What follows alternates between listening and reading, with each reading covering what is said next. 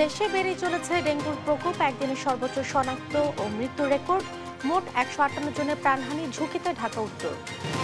সাগরণী হত্যাকাণ্ড ধামাচাপা দিতে র্যাবকে তদন্তভার অভিযোগ বাদী পক্ষের পিবিআইকে দায়িত্ব দিতে শিগগিরই আবেদন। কাউনের বিপদসীমার উপরে তিস্তার পানি। রংপুর, কুড়িগ্রাম ও লালমনিরহাটের নিম্নাঞ্চল প্লাবিত। ক্ষয়ক্ষতি আতঙ্কে হাজারো মানুষ। জনগণ সাকিবের ওপর চড়াও হলে সামলানো কঠিন মন্তব্য ক্রীড়া উপদেষ্টার। জনগণের কাছে নিজের অবস্থান পরিষ্কারের আহ্বান। পহেলা অক্টোবর থেকে চোদ্দ দিন মধ্যরাতে সাড়ে তিন ঘণ্টার জন্য বন্ধ থাকবে হজরত শাহজালাল বিমানবন্দর। রক্ষণাবেক্ষণ কাজের জন্য সিদ্ধান্ত। নাসরাল্লাহকে হত্যার নির্দেশ আসে নিউ ইয়র্ক থেকে, দাবি ইরানের প্রেসিডেন্টের। নতুন করে প্রাণ গেল বিয়াল্লিশ জনের থমথমে মধ্যপ্রাচ্য সংবাদ রাতে দেখছিলেন একেএস টিমটি বার সংবাদ শিরোনাম। সঙ্গে আছে আমি জেসিকা আবেদিন। এবার বিস্তারিত সংবাদ। চলতি বছরে একদিনে সর্বোচ্চ ডেঙ্গু রোগী শনাক্ত মৃত্যুর ঘটনা ঘটেছে। একদিনে মারা গেছে আটজন আর শনাক্ত হয়েছে এক হাজার দুশো একুশ জন। স্বাস্থ্য অধিদপ্তর থেকে পাঠানো এক বিবৃতিতে এ তথ্য জানিয়ে জানানো হয়েছে। এতে বলা হয়েছে, রোববার সকাল আটটা পর্যন্ত গেল চব্বিশ ঘন্টায় সবচেয়ে বেশি শনাক্ত হয়েছে ঢাকা উত্তর সিটি এলাকায় দুশো ছয় জন। দক্ষিণ সিটিতে দুশো আটাশ এবং চট্টগ্রাম বিভাগে একশো তিরাশি জন। এদিকে একদিনে সারা দেশে এক হাজার নব্বই জন ডেঙ্গু রোগী হাসপাতাল থেকে ছাড়পত্র পেয়েছেন। সব মিলিয়ে চলতি বছর ডেঙ্গুতে মারা গেছে একশো আটান্ন জন। শিগগিরই সাইবার সিকিউরিটি আইন সংস্কার করা হবে বলে জানিয়েছেন আইন উপদেষ্টা ডক্টর আসিফ নজরুল। জানান, যেসব আইন পরিবর্তনের ব্যাপারে ইতোমধ্যে ঐক্যমত তৈরি হয়েছে, সেগুলো দ্রুত সংস্কার করা হবে। রোববার দুপুরে তথ্য অধিকার ফোরাম ও মানুষের জন্য ফাউন্ডেশন আয়োজিত মতবিনিময় সভায় এসব কথা বলেন তিনি। আইন উপদেষ্টা জানান, বিগত সরকার তথ্য অধিকার আইন তৈরির পাশাপাশি অধিকার বিনাশও করেছিল। অরাজকতার জঘন্য উদাহরণ সৃষ্টি করা হয়েছিল, তা যেন আর ফিরে না আসে, সেই ব্যবস্থা করা হবে। অধিকার বিলাসী যে সমস্ত আইন ছিল, যে সমস্ত আইন করার পরিকল্পনা ছিল, সেগুলি বাতিল করার চেষ্টা করব, ক্ষেত্র বিশেষে সংশোধন করতে হবে। যেমন ধরেন সাইবার সিকিউরিটি একটা অনেকের জনপ্রিয় দাবি হচ্ছে এটাকে বাতিল করে দেওয়া। মানে দুই ধরনের অপরাধ আছে। একটা হচ্ছে কম্পিউটার অফেন্স হচ্ছে স্পিচ অফেন্স স্পিচ অফেন্স আমি বাদ দিব। কম্পিউটার অফেন্স হ্যাকিং করা বা ধরেন একটা একটা মেয়ের সাথে ঘনিষ্ঠতার ছবি কম্পিউটারে দিয়ে ব্ল্যাকমেইল করার চেষ্টা করা, সেটাকে যদি আমি ক্রিমিনালাইজ করার থেকে বাতিল করি, তাহলে দেশে অরাজকতা হয়ে যাবে। উপদেষ্টা নিয়োগে প্রধান উপদেষ্টার আরও সতর্ক হওয়া উচিত ছিল বলে মন্তব্য করেছেন বিএনপির নেতা হাফিজ উদ্দিন আহমেদ। পার্বত্য এলাকায় অস্থিরতা তৈরিতে ভারত কোনো উস্কানি দেবে না বলে প্রত্যাশা তার। আর দুর্গাপূজাকে কেন্দ্র করে দেশকে অস্থিতিশীল করার চেষ্টা সফল হবে না বলেও জানায় গর্ষ চন্দ্র রায়। সাইফুল রিপনের প্রতিবেদন। ঢাকা রিপোর্টার্স ইউনিটিতে বর্তমান রাজনৈতিক প্রেক্ষাপটে রাষ্ট্র বিনির্মাণে মুক্তিযোদ্ধাদের করণীয় শীর্ষক আলোচনায়, দেশ পরিচালনায় মুক্তিযোদ্ধাদের সাথে কোনো পরামর্শ না করায় অন্তর্বর্তী সরকারের প্রতি ক্ষোভ জানান বক্তারা। কোনো কোনো ভূমিকা রাখার সুযোগই দিচ্ছে না। বিএনপি নেতাদের দাবি প্রশাসনে স্বৈরাচারের দোসররা বসে থাকায় দেশের মানুষ এখনও নিরাপত্তাহীনতায় ভুগছে। অন্তর্বর্তী সরকারকে সুনির্দিষ্ট পথে হাঁটার আহ্বানও জানান তারা। যে দুটো রোডম্যাপ আমরা অবিলম্বে চাই। একটা হচ্ছে সংস্কার রোডম্যাপ আর একটা হচ্ছে নির্বাচনী রোডম্যাপ। বিএনপির স্থায়ী কমিটির সদস্য মেজর অবসরপ্রাপ্ত হাফিজউদ্দিন আহমদ বীর বিক্রম বলেন অন্তর্বর্তী সরকারের ওপর সজাগ দৃষ্টি রাখছে বিএনপি। প্রফেসর ইউনুস বাংলাদেশের কৃতি সন্তান। অত্যন্ত বিনয়ের সাথে বলতে চাই তার আরও কেয়ারফুল হওয়া উচিত ছিল। এই উপদেষ্টা পরিষদের অর্ধেকেরও বেশি তারা এই বিপ্লবী চেতনা ধারণ করেন না। তারা আগে সরকারগুলোকে সাহায্য করেছেন ওয়ান ইলেভেনের সময়ও করেছেন। পার্বত্য এলাকায় অস্থিরতা তৈরিতে উস্কানি না দিতে ভারতের প্রতি আহ্বানও জানান তিনি। আমি আশা করব আমাদের প্রতিবেশী রাষ্ট্র তাদেরকে আর উস্কানি দেবে না তাদেরকে ট্রেনিং দিয়ে অস্ত্র হাতে আবার হিলট্রাক্সের মধ্যে ঢুকাবার চেষ্টা করবেন না। যদি তাহলে করতে হয়, সারা জাতি আমরা যুদ্ধ করার জন্য প্রস্তুত আছি। প্রত্যেকটি স্কুলে যে বিএনসিসি আছে, কলেজে ইউনিভার্সিটিতে সকল ছাত্রকে সামরিক প্রশিক্ষণ দেওয়া হবে। রাজশাহীর ভুবনমোহন পার্কে ছাত্র জনতার অভ্যুত্থানে নিহতদের পরিবারের সাথে সাক্ষাৎ ও সমাবেশ করে আমরা বিএনপি পরিবার। এ সময় দলের সিনিয়র যুগ্ম মহাসচিব রুহুল কবির রিজভি বলেন দেশকে অস্থিতিশীল করতে চাইলে পরিণাম ভালো হবে না। বাংলাদেশের মানুষ তারা অদম্য সাহসী এবং বীরের জাতি। এরা কীভাবে নিজের দেশকে পরিচালনা করবে? কাকে নির্বাচিত করবে সেই অধিকারটুকু তারা জানে সেই অধিকারে তারা বিশ্বাসী। এদিকে জিয়া মঞ্চের একত্রিশতম প্রতিষ্ঠা বার্ষিকী উপলক্ষে বিএনপির প্রতিষ্ঠাতা জিয়াউর রহমানের সমাধিতে শ্রদ্ধা জানান স্থায়ী কমিটির সদস্য গয়েশ্বর চন্দ্র রায়। পরে সাংবাদিকদের সাথে কথা বলেন তিনি। পাঁচই আগস্টে যারা পরাজিত শক্তি তারা বসে নেয়। তারা হয়তো একটা সাবরাইজ করার চেষ্টা করবে। সকল অঞ্চলে সকল পূজাকে আমরা দেখভাল করব। আমরা জনগণকে নিয়ে নিরাপত্তা দিব এবং সেখানে আমাদের নেতৃত্ব যদি ব্যর্থতা হয় তাদের বিরুদ্ধে যথাযথ ব্যবস্থা গ্রহণ করবে। গণ অভ্যুত্থান পরবর্তী সময়ে সবাইকে ঐক্যবদ্ধ থেকে নির্বাচনের মধ্য দিয়ে গণতন্ত্র ফিরিয়ে আনতে হবে বলেও জানান তিনি। একটা নির্বাচনী প্রক্রিয়ার মধ্য দিয়েই সাইফুল রিপন দেশ টিভি ঢাকা। ছাত্র জনতার গণ অভ্যুত্থানের প্রতি সম্মান রেখে সব পর্যায়ে সাম্য, ন্যায় বিচার ও আইনের শাসন নিশ্চিতের আহ্বান জানিয়েছেন প্রধান বিচারপতি ডক্টর সৈয়দ রেফাত আহমেদ। দুপুরে ফরিদপুর জেলা আইনজীবী সমিতি ভবনে প্রধান বিচারপতির সংবর্ধনা অনুষ্ঠানে এ কথা বলেন তিনি। এর আগে সকালে আদালত চত্বরে বিচার প্রার্থীদের জন্য বিশ্রামাগার, ন্যায়কুঞ্জ উদ্বোধন এবং বকুল ফুল গাছের চারা রোপণ করেন প্রধান বিচারপতি। আদালতের বিভিন্ন এজলাসও পরিদর্শন করেন তিনি।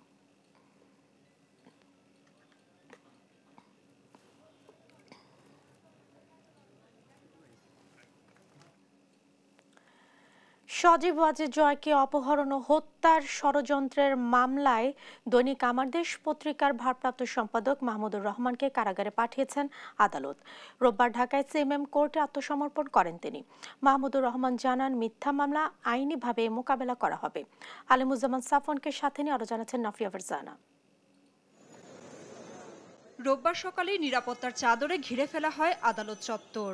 আইন শৃঙ্খলা বাহিনীর সঙ্গে ছিল সেনাবাহিনীর বাড়তি সতর্কতা। সকাল দশটার পর সহকর্মীদের নিয়ে আদালতে আসেন আমার দেশ পত্রিকার ভারপ্রাপ্ত সম্পাদক মাহমুদুর রহমান। উদ্দেশ্য, সজীব অজেদ জয়কে অপহরণ ও হত্যা চেষ্টা মামলায় আত্মসমর্পণ করা। এজলাসে ওঠার আগে গণমাধ্যমের সঙ্গে কথা বলেন সিনিয়রের সাংবাদিক। জানান, সব মামলা মোকাবেলা করবেন আইনি প্রক্রিয়ায়। যে বিরুদ্ধে লড়াই করতে গেলে নিজের মেরুদণ্ড সোজা রাখতে হবে এবং মেরুদণ্ড সোজা রাখবার জন্য সেই আইন অনুযায়ী আমি সারেন্ডার করব এবং আমি লড়াই অব্যাহত রাখব যদিও এই মামলা সর্বৈব মিথ্যা। আত্মসমর্পণের পর মাহমুদুর রহমানকে কারাগারে পাঠানোর নির্দেশ দেন ঢাকার চিফ মেট্রোপলিটন ম্যাজিস্ট্রেট আদালত। আদালতে মাহমুদুর রহমান জামিন চাননি জানিয়ে তার আইনজীবী বলেন বুদ্ধিবৃত্তিক লড়াইয়ের জন্যই ফাঁসানো হয়েছে তাকে। এই মামলার ঘটনাস্থল আমেরিকায়। সেইটাকে কারসাজি করে বাংলাদেশে ঘটনাস্থল দেখিয়ে সেই মামলা করেছেন এবং জনাব মাহমুদুর রহমান এবং শফিক রেহমানকে জেল দিয়েছে পাঁচ বছরে। মাহমুদুর রহমান ইস্যুতে সুপ্রিম কোর্ট প্রাঙ্গণে প্রতিক্রিয়া জানান ব্যারিস্টার মাহবুবুদ্দিন খোকন। তার বিচার করার অধিকার নাই। বিচারিক করা তার নৈতিকতা নেই। সেই যে সাক্ষীকে আগে এগিয়ে নেওয়া সাক্ষী দিতে এতে প্রমাণ করে তার বিচারের মানসিকতা ছিল না। তার বিচারিক ক্ষমতা রহিত করা হোক আমি মনে করি। এদিকে রাজধানীর নিউ মার্কেট থানার হত্যা মামলায় সাবেক আইজিপি চৌধুরী আব্দুলাল মামুনকে চার দিন ও ঢাকা দক্ষিণ সিটি কর্পোরেশনের ২৬ নম্বর ওয়ার্ডের সাবেক কাউন্সিলর হাসিবুর রহমান মানিককে পাঁচ দিনের রিমান্ড দিয়েছেন আদালত। একই মামলায় সাবেক আইনমন্ত্রী আনিসুল হক ও সাবেক প্রধানমন্ত্রী শেখ হাসিনার উপদেষ্টা সালমান এফ রহমানকে গ্রেফতার দেখিয়ে কারাগারে পাঠানোর নির্দেশ দেন আদালত। বিজ্ঞ আদালত রিমান্ড বাতিল জামিন প্রার্থনা দরখাস্তটি নামঞ্জুর করেন। এবং উভয় পক্ষের বক্তব্য শোনার পর রিমান্ড মঞ্জুর করে তাদেরকে তদন্তকারী কর্মকর্তার হেফাজতে প্রদান করেন। এখানে তাকে অন্যায়ভাবে আটক রাখার জন্য এই সুনির্দিষ্ট দেখানো হয়েছে আমরা মনে করি। এই এটা আইনানুগ কোনো আদেশ হচ্ছে না। আমরা পরবর্তীতে প্রয়োজন মনে করলে এই ব্যাপারে উচ্চ আদালতে যাব এবং আমরা যাতে সুবিচার পাই সেখানে আমরা আবেদন করব। এছাড়া মিরপুর থানার আরেক হত্যা মামলায় সাবেক মন্ত্রী আসাদুজ্জামান নূরকে গ্রেফতার দেখিয়ে কারাগারে পাঠানোর নির্দেশ দেন বিচারক। নাফিয়া ফারজানা, দেশ টিভি, ঢাকা। এক নভেম্বর থেকে পলিথিন কারখানায় অভিযান চালানোর ঘোষণা দিয়েছেন পরিবেশ উপদেষ্টা সৈয়দা রিজওয়ানা হাসান। ডিসেম্বরের মধ্যে সচিবালয় প্লাস্টিক মুক্ত করার পরিকল্পনাও জানান তিনি। রাজধানীর আগারগাঁওয়ে নিষিদ্ধ পলিথিন শপিং ব্যাগের বিকল্প পণ্যের মেলা উদ্বোধন করে এ কথা বলেন উপদেষ্টা। আরও জানাচ্ছেন এনআই নাহিদ। নিষিদ্ধ পলিথিন ব্যাগের বিকল্প তুলে ধরতে এ পণ্যের পসরা। রোববার সকালে রাজধানীর আগারগাঁওয়ে পলিথিন শপিং ব্যাগের বিকল্প পণ্যের বিষয়ে জনসচেতনতা ও বিকল্প সহজীকরণের লক্ষ্যে মেলার আয়োজন করে পরিবেশ অধিদপ্তর। সরকারি বেসরকারি উদ্যোক্তাদের অংশগ্রহণে এ মেলা হয়। উদ্বোধন করেন পরিবেশ উপদেষ্টা সৈয়দা রিজওয়ানা হাসান। পরিবেশ বান্ধব কাগজ, কাপড় ও চটের শপিং ব্যাগের এ মেলায় এসে উচ্ছ্বসিত দর্শনার্থীরা পাট বা তারপরে হ্যান্ডমেড পেপার এগুলো যে আরও কত ক্রিয়েটিভলি ইউজ করা যায় আমরা স্টলগুলো ঘুরে ঘুরে দেখলাম। মানুষের জীবনটাকে নিরাপদ করার এমন উদ্যোগকে স্বাগত জানান উদ্যোক্তারা। তারা দাবি করেন এ পদক্ষেপ দীর্ঘস্থায়ী করার জন্য। আমাদের জায়গা থেকে এরকম যখন আমাদেরকে পলি দিবে আমরা যদি না নেই তো দোকানদাররা কিন্তু সেখানে সচেতন হয়ে যাবে। এবং আমরা আমাদের তরফ থেকে যেমন এই যে এই ব্যাগগুলো তৈরি করছি এগুলো হচ্ছে ক্যানভাস কটনের এটা কিন্তু পচনশীল। তো আমরা চায়নাকে বিট দিয়ে আমরা এই পণ্যটাকে বিদেশে এক্সপোর্ট করতে পারি। ডিসেম্বরের মধ্যে সচিবালয় প্লাস্টিক মুক্ত করার পরিকল্পনা চলছে বলে জানান পরিবেশ উপদেষ্টা সৈয়দা রিজওয়ানা হাসান। আগামী প্রজন্মকে পলিথিন ও কেমিক্যাল মুক্ত রাখতে এক নভেম্বর থেকে পলিথিন কারখানাগুলোতে অভিযান চলবে বলেও জানান উপদেষ্টা। তো আগামী প্রজন্মকে রক্ষার জন্য কেমিক্যাল মুক্ত রাখার জন্য অপচনশীল পলিথিন শপিং ব্যাগের যে অভিশাপ সেটা থেকে আগামী প্রজন্মকে নদী, নালা, মাটি এই সব কিছুকে রক্ষার জন্য আশা করি আমরা পহেলা অক্টোবর থেকে আমাদের কাজটা শুরু করতে পারছি। আমরা ধাপে ধাপে যাব, সকলকে একসাথে একই জায়গায় এনে ঐক্যমতের ভিত্তিতে আগাবার চেষ্টা করব, তবে সিদ্ধান্তে কিন্তু কোনো পরিবর্তন আসবে না। পাট শিল্পের ঐতিহ্য ফিরিয়ে আনতে কাগজ, কাপড় ও পাটজাত পণ্যের ব্যাগ ব্যবহারের জন্য সবাইকে আহ্বান জানান পরিবেশ উপদেষ্টা। এন আই নাহিদ, দেশ টিভি, ঢাকা। ভারত থেকে আসা ঢল আর কয়েকদিনে টানা বৃষ্টিতে বিপদসীমার উপর দিয়ে বইছে তিস্তার পানি। বাড়ছে ধরলা, দুধকুমার ও ব্রহ্মপুত্র নদের পানিও। এতে প্লাবিত হয়েছে রংপুর লাল, নীলফামারী, লালমনিরহাট ও কুড়িগ্রামের নিম্নাঞ্চল। রাস্তাঘাট ডুবে বিচ্ছিন্ন হয়ে পড়েছে যোগাযোগ। ব্যাপক ক্ষতির মুখে রোপা আমন ও মৌসুমি ফসল। সহকর্মীদের তথ্য ছবিতে আপন উপর ডেস্ক রিপোর্ট। উজানের ঢল আর টানা বৃষ্টিতে বিপদসীমার উপর দিয়ে বইছে তিস্তার পানি। বাড়ছে ধরলা, দুধকুমার ও ব্রহ্মপুত্র নদের পানিও।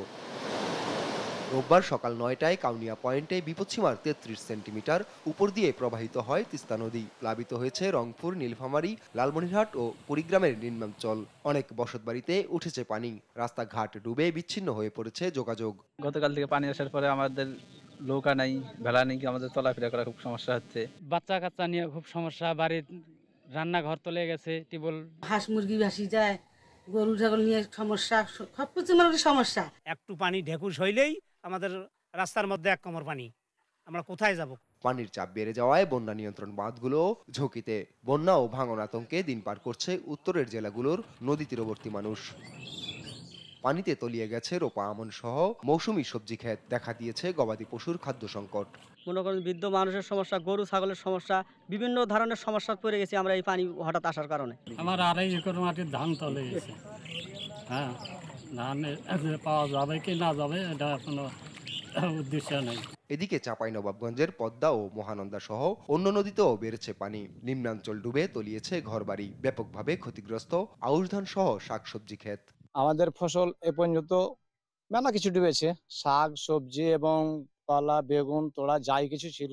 বন্যা এবছর যে ভাঞ্জা আছে অন্য অন্য বছর এরকম দীর্ঘস্থায়ী ভাঞ্জা ছিল না। মানে ক্ষতির কোনো শেষই নাই এমন ক্ষতিকার আমরা এখানে। কয়েকদিনের মধ্যে পানি না নামলে আরও দুর্ভোগ ও ফসলহানির শঙ্কা করছেন স্থানীয়রা। আপনপু নিউজ ডেস্ক দেশ টিভি। সাংবাদিক দম্পতি সাগর রুনি হত্যাকাণ্ডে এসেছে নতুন মোড়। নতুন করে অ্যাডভোকেট শিশির মনিকে আইনজীবী নিয়োগ দিয়েছে বাদীপক্ষ রুনির ভাই বলেন, মামলা দ্রুত নিষ্পত্তির জন্য এই সিদ্ধান্ত তাদের। পরিবর্তিত পরিস্থিতিতে মামলাটি নিষ্পত্তির আশা জানান আইনজীবী। তবে যাদের বিরুদ্ধে অভিযোগ আছে, তাদের বিচারের মুখোমুখি করা হবে বলেও জানান তিনি। সাবরিনা মজুমদার জানাচ্ছেন বাকিটা। সাংবাদিক সাগরুনি হত্যার পেরিয়েছে এক যুগ। মামলার ফাইল পুলিশ সিআইডির হাত ঘুরে শেষ পর্যন্ত যায় র্যাবের কাছে। শেখ হাসিনা সরকারের সময় আলোচিত এই হত্যাকাণ্ডের জট খুলতে পারেনি কোনো সংস্থাই। পাঁচ আগস্ট দেশের রাজনৈতিক প্রেক্ষাপট বদলালে প্রধান উপদেষ্টার কণ্ঠেও ধ্বনিত হয় সাংবাদিক দম্পতি সাগর সরোয়ার ও মেহেরুন্ননি হত্যাকাণ্ডের ন্যায় বিচার। এতে নতুন করে আশার আলো দেখছেন সাগরুনির স্বজন ও সহকর্মীরা। সাংবাদিক সাগররণী হত্যাকাণ্ড সহ বহুল আলোচিত পাঁচটি হত্যাকাণ্ডের তদন্ত ও বিচার অগ্রাধিকার ভিত্তিতে ও দ্রুততম সময়ে নিষ্পত্তির জন্য সহায়তা প্রদান করা হচ্ছে। এমন পরিস্থিতিতে মামলার বাদী রুনির ভাই নওশের রোমান নিয়োগ দিয়েছেন নতুন আইনজীবী। রোববার সুপ্রিম কোর্ট প্রাঙ্গণে সাংবাদিকদের মুখোমুখি হয়ে তিনি বলেন, এ হত্যাকাণ্ড ধামাচাপা দিতে তৎকালীন সরকার তদন্তের দায়িত্ব দেয় র্যাবকে। তদন্তকারী সংস্থা, ওরা আসলে আমার মনে হয় না ঠিকমতো কোনো তদন্ত করেছে এবং শুরুর দিকে কিন্তু ওরা কথা বলতো এবং তারপরে কিন্তু আপনাদের সাথেও কিন্তু কথা তদন্তকারী সংস্থা বলেনি কারণ তারা এটা নিয়ে কোনো তদন্ত আসলে করেনি এবং আমাদের কাছে মনে হয় যে তদন্তকারী সংস্থা র্যাবকে দেওয়া হয়েছিল মামলাটা যেন এটা ধামাচাপা দেওয়ার যে প্রক্রিয়াটা যেন যেহেতু তাদের প্রতি আসলে মানুষ একটা ভীতি কাজ করে এটা যেন সম্পন্ন হতে পারে এর জন্য।